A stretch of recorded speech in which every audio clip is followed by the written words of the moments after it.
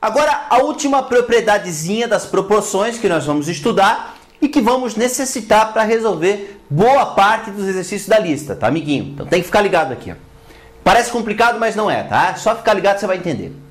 A sobre B é igual a C sobre D. Tem uma proporção. Implica que A mais B sobre B, ou seja, o de cima mais o de baixo, dividido pelo de baixo, é igual a C mais D sobre D. O de cima mais o de baixo, dividido pelo de baixo. Aqui também poderia ser A mais B sobre A e C mais D sobre C. Não mudaria nada. Né? Mas, é, para não confundir muito, vamos usar sempre assim, fica mais fácil, tá, amiguinho? Então, ó, A sobre B, aí fica A mais B sobre B. C sobre D, fica C mais D sobre D. Também eu posso fazer com a diferença. A sobre B igual a C sobre D, né? Em vez de fazer A mais B sobre B, eu faço A menos B sobre B, C menos D sobre D. Não entendi nada, professor. Então, olha aqui embaixo. 4 terços é igual a 8 sextos. Até porque é o dobro, né? 8 sobre 6. Eles são iguais, é uma proporção. Olha o que eu vou fazer. 4 mais 3 sobre 3, ó. Eu somo 4 com 3, ó. Sobre 3. 8 mais 6 sobre 6. Sabe quanto é que é isso aqui? 7 terços. Sabe quanto é que é isso aqui? 14 sextos. 7 terços é igual a 14 sextos. Perceba, amiguinho? Ó, isso não é igual aquilo. Mas essas duas aqui, ó, são iguais entre si. Então eu fiz esse mais o de baixo dividido pelo de baixo, esse mais o de baixo dividido pelo de baixo. A mesma coisa eu fiz embaixo, só que agora com um sinal de menos. 4 menos 3 sobre 3, 8 menos 6 sobre 6. E eu continuei tendo uma igualdade aqui. Joia? Isso vai ser muito útil para resolver os probleminhas. Você vai entender isso agora. Aqui nós temos um exemplo de aplicação dessa nossa terceira propriedadezinha das proporções, tá? Aí muita gente fala assim, ó, tá, mas como é que eu vou saber quando eu uso aquela segunda propriedadezinha e quando eu uso essa terceira que você mostrou agora? Ó, vou te dar uma dica, uma dica quente, hein? uma dica legal, uma dica legal. Quando tiver x dividido por y, assim, ó, ou a dividido por b, tiver as duas incógnitas aqui, ó. Antes não era assim, era x sobre 2 igual a y sobre 3. O x ficava aqui, o y ficava ali. Mas quando tem x sobre y, ou a sobre b, ou c sobre d, as duas incógnitas juntas aqui, ó, a gente vai usar essa terceira propriedade. Essa é a sacada do esquema aqui. Então, lá. Ó, vamos lá. Utilizando as propriedades, as proporções, determine x e y, sabendo que x sobre y é igual a 3 sobre 4 e que x mais y é 35. Então, olha só, amiguinho. Olha como é que fica a utilização da propriedade, hein? Lembra como é que era o esqueminha? Era assim, ó. Era x mais y. Eu somava o de cima com o de baixo e deixava o y embaixo. E aqui eu tenho que fazer a mesma coisa. 3 mais 4 e deixo o 4 embaixo. Entendeu? Em cima eu coloco a soma desses dois, ó, x mais y. Deixo o y embaixo. Em cima eu coloco a soma dos dois. Ah, mas por que, que, que isso me, me adianta, né? Como é que eu vou resolver o problema agora? Olha só, amiguinho. Ele não deu o valor de x mais y? É 35. Então o que, que vai acontecer aqui? Ó? No lugar do x mais y eu coloco 35. E aí eu consigo resolver. 35 sobre y é igual a 3 mais 4, que é 7 quartos. Não é verdade? Viu? Assim eu consigo encontrar o valor do y. E aí é só terminar a continha aqui, né? Ó, multiplica cruzado, ó. 7y igual a 4 vezes 35. Vamos terminar aqui, ó. 35 sobre y é igual a 7 sobre 4. Então multiplica cruzado, ó. 7 vezes y igual a 4 vezes 35. Nem precisa multiplicar se você não quiser. y é igual a 4 vezes 35 dividido por 7, né? y é igual a Bom, 4 vezes 35 dá 140. Aqui fica mais fácil. Eu poderia dividir o 35 pelo 7 primeiro, se eu quisesse, tá? Mas aqui não, não vem ao caso. Então, 140 dividido por 7, né? Y é igual a 20, né? Achei o valor do Y, amiguinho, é 20. Agora, para achar o valor do X, eu tenho várias opções aqui, ó. Várias, várias, várias, várias. Uma delas é substituir o Y que eu encontrei por 20 aqui, ó. E resolver aqui. Outra opção que eu tenho é substituir aqui, ó. x mais y é 35, né? Então, se o y é 20, eu posso achar o valor do x aqui, ó. Eu tenho N maneiras de fazer. Eu vou usar essa segunda, que eu considerei mais fácil, ó. x mais y é 35. Então, como y é 20, x mais 20 é igual a 35, passo 20 para lá diminuindo, né?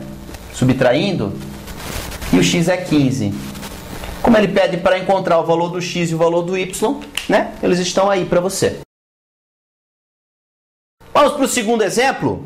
A mesma ideia de antes, tá? Ó, x sobre y. Então o que, que vai acontecer? Só que agora ele deu o valor de x menos y, que é 20. Então eu vou usar a ideia do menos, aquela propriedadezinha, a segunda parte dela, do menos. Então eu faço assim, ó, x menos y sobre y, aí tem que fazer a mesma coisa aqui, ó, igual a 4 menos 3 sobre 3, tá? Ó, o de cima menos o de baixo dividido pelo de baixo, o de cima menos o de baixo dividido pelo de baixo. Aí fica tranquilo. Quanto que é o valor que ele está me dando por x menos y? Não é 20? Então, 20 dividido por y igual a 4 menos 3 é 1. Igual a 1 terço. Né, amiguinho? Então é só eu terminar a conta agora. Aqui do ladinho, ó. 20 sobre y é igual a 1 terço. Multiplica a cruzada, a propriedade fundamental uma vez y é igual a 3 vezes 20 e o y é 60, tá? Encontrei o valor do y. Como é que eu encontro o valor do x? Bom, eu posso substituir aqui, ó, né, como eu falei, x sobre 60 igual a 4 sobre 3, e aí usar a propriedade fundamental, ou eu posso substituir ali. Tanto faz, né, amiguinho? Vou usar a segunda fórmula que é mais fácil. X menos y é 20 X, quanto é que é o Y? 60. Passo menos 60 para lá somando. Ó, X é igual a 80. Encontrado o valor do X, está encontrado o valor do Y para você. Olha o nosso terceiro exemplo, hein? No ano de 2012, no Brasil, a gasolina vendida em postos de combustíveis possuía em sua composição 20% de álcool. Isso significa 1 litro de álcool para 4 litros de gasolina pura. Entendeu? 1 litro de álcool para 4 litros de gasolina. Isso é uma razão, né? Não é verdade? Uma pessoa que abasteceu seu carro em 2012 em um poço convencional com 60 litros desse combustível, obteve que quantia de álcool e gasolina pura em seu tanque? Só não entendi nada. Vamos montar uma razão? Ó, um litro de álcool para 4 litros de gasolina. Ó, então o que acontece? A razão entre a quantidade de álcool e de gasolina é um quarto, não é verdade? Quantidade de álcool pela quantidade de gasolina, 1 sobre 4, é o que está escrito ali. A razão entre os, os valores é um quarto. Daí que acontece? É, uma pessoa que abasteceu seu carro em um poço convencional com 60 litros. 60 litros. Então, a quantidade de álcool mais a quantidade de gasolina que ele colocou foi 60 litros, ok? A mais G igual a 60. Tá vendo, amiguinho? É o mesmo probleminha que a gente fez antes. Só tinha que interpretar agora, né? Bom, como é que ele, que, que ele pede? Ele pede a quantidade de cada um dos dois. Então nós vamos fazer o seguinte, vamos usar aquela propriedadezinha que a gente viu agora há pouco. Ó, A mais G sobre G, tem que fazer a mesma coisa aqui, hein? Igual a 1 mais 4 sobre 4, não é verdade? Bom, álcool mais gasolina, 60. 60 dividido por G igual a 1 mais 4 é 5. 5 sobre 4 usa a propriedade fundamental, multiplica cruzado aqui, ó, e encerra a questão. 5 vezes G igual a 4 vezes 60. Então, G vai ser 4 vezes 6, 24, 240 dividido por 5. Então, nós vamos ter que fazer essa divisão, né? Se 240 por 5 vai dar 48, amiguinho. Pode dividir, tá? Acredita em mim. Então nós colocamos 48 litros de gasolina. E aí a quantidade de álcool, professor, como é que eu faço? Substitui aqui, ó. Que nem a gente fez antes. Ó, álcool mais 48 igual a 60. Passo 48 subtraindo. 60 menos 48, né? Quantidade de álcool vai ser 12 litros. Tá aqui a resposta final para você. 12 litros de álcool e 48 de gasolina. Quem abastecer o carro nesse posto aí. fazer uma limonada, uma pessoa misturou duas partes de suco de limão para sete partes de água. Ó a razão, 2 para 7. Ó, duas partes de suco de limão, vamos chamar de L suco de limão, para 7 partes de água. Então, L dividido por A, ó, suco de limão, água, tem que ser igual a 2 sobre 7, ok? É uma razão. Quantos ml de suco de limão e quantos litros de água serão necessários para preparar 2,7 litros de limonada. Ó, númerozinho com vírgula, né, amiguinho? 2,7 litros de limonada. Então presta atenção. A quantidade de água mais suco de limão tem que dar 2,7 litros, ok? Agora eu vou descobrir quanto que vai ser de água e quanto que vai ser de suco de limão. Perfeito? Como é que eu vou fazer isso? A mesma ideia de antes. Ó, L mais A dividido por A, o de cima mais o de baixo dividido pelo de baixo, igual a, tem que fazer a mesma coisa ali, 2 mais 7 sobre 7. Aí, ó, é, limão mais água, 2,7. Então, 2,7 dividido por A é igual a 2 mais 7, 9 sétimos. E aí multiplica cruzado, bonitinho, né? Que nem a gente aprendeu. Então, 9A igual a 7 vezes 2,7. Aí tem que multiplicar o 2,7 por 7, tá? Vou ter que fazer a continha, não tem jeito, né? Essa eu não consigo de cabeça. 2,7 vezes 7. 7 vezes 7 é 49, vai um 4. 2 vezes 7 é 14, com 4 é 18. Uma casa, ó, uma, uma, então deu 18,9. Então, esse 9 está multiplicando, ele vai dividindo. Quem vai ser o meu A? Quantidade de água vai ser 18,9 dividido por 9. Bom, 18 por 9 dá 2. Vai dar 2,1, amiguinho. Pode fazer a divisão se você quiser, né? Se não sabe fazer isso, vai assistir a aulinha de números racionais. Lá eu ensino, né? Então, 2,1 litros. Ô, amiguinho, ah, o que, que ele pede aqui? Quantos ml de suco de limão e quantos litros de água?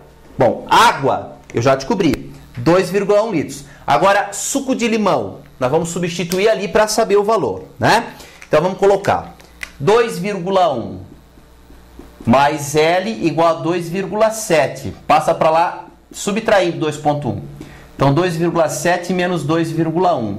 L é igual a 0,6. 0,6 litros de suco de limão. 0,6 litros. Só que ele quer em ml, tá? 0,6 litros, para transformar de litro para ml, você deve multiplicar por mil, certo? Porque um litro são mil ml. Então, 0,6 litros é a mesma coisa que 600 ml. A mesma coisa, ó, 0,5 litros, não é meio litro?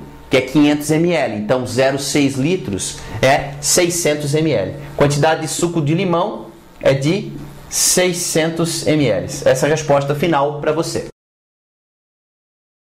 Ó, um telhado possui 30% de declividade. Aí ele explica o que, que é, claro, né? Ou seja, a razão entre a altura e o comprimento é 3 para 10, conforme o desenho. Altura 3, comprimento 10. Vamos escrever isso? Tá bem claro ali. A razão entre a altura e o comprimento. Altura dividido pelo comprimento igual a 3 sobre 10. Viu, amiguinho? Até em telhados aparece isso aí, tá? E aparece mesmo, tá? É bem assim mesmo. Olha lá, ó. Para um outro telhado com comprimento 12 metros, qual o valor da altura para que possua declividade 30%? Então, amiguinho, ó, o que, que ele está fornecendo? Essa ficou bem fácil. Para um outro telhado com comprimento 12, então ele deu o valor do C aqui, ó, 12 aí a gente só substitui, usa a relação fundamental que a gente tem as, a, das proporções ali, né? E acabou, certo? Ó, vamos lá de novo? Ó, comprimento 12. Vamos colocar o 12 no lugar do comprimento. Então, A dividido por 12 igual a 3 dividido por 10. Multiplica cruzado e nós vamos terminar a questão, né? 10A igual a 3 vezes 12, ou 12 vezes 3, tanto faz. E o A vai ser 12 vezes 3 é 36, dividido por 10, né? O 10 está multiplicando, vai dividindo. Dividir por 10 é só correr uma vírgula para a esquerda. Então A vai ser 3,6 metros. Essa vai ser a altura do telhado, né? 3,6 metros, ok?